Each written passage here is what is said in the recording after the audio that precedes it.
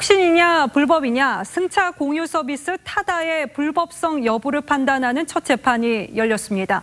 이 불법 콜택시 영업이라는 검찰의 주장에 대해서 타다 측은 법적으로 허용된 기사 딸린 렌터카 영업이라고 맞섰습니다. 윤수영 기자입니다. 여객 자동차 운수사업법 위반 혐의로 기소된 이재용 소카 대표와 자회사인 VCNC의 박재욱 대표.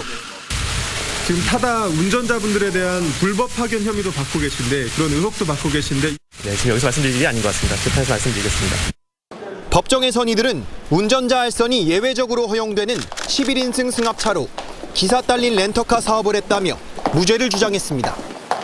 하지만 검찰은 타다 측이 여객 운송 사업자로 국토교통부 면허도 받지 않았다며 불법 영업으로 간주했습니다. 쟁점은 타다 이용객을 기사가 포함된 렌터카 계약자로 볼 수 있는지 여부입니다. 검찰은 타다는 실질적으로 콜택시 영업에 불과하다며 새로운 유형의 사업이라 해도 현행법 규정 안에서 육성돼야 한다고 주장했습니다.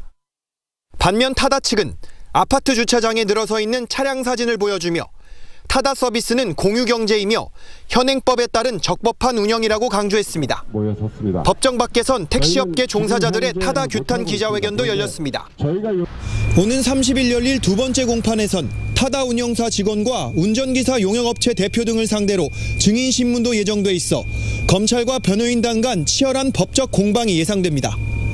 TV조선 윤수영입니다.